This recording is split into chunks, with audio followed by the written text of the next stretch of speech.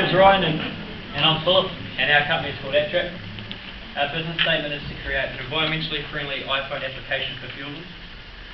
Um, our objectives are to produce a reliable product that meets the users, the um, needs of tourists and tourist operators, as well as being environmentally friendly, to generate a profit, and to reduce the amount of business businesses producing paper waste.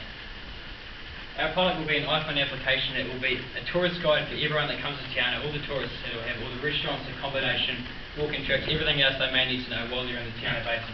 It'll be environmentally friendly, cheap, and it can be all run offline as well. Two in five people own an Apple product.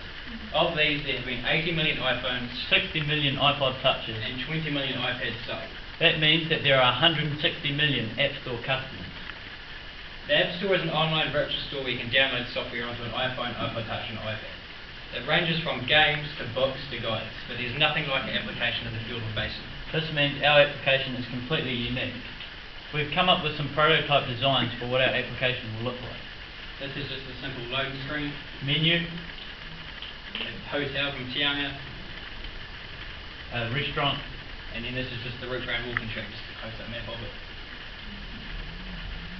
Um, the advantages of our product is it's offline, so as soon as you've downloaded it, you've got one initial download, one initial payment, then it's all there in your hand. You can use it wherever you are, and this is especially important because in places such as Milford Town, where there's no cell phone reception for miles, you've got everything there and everything's accessible. It's cheap advertising for the company and it's cheap to purchase as well.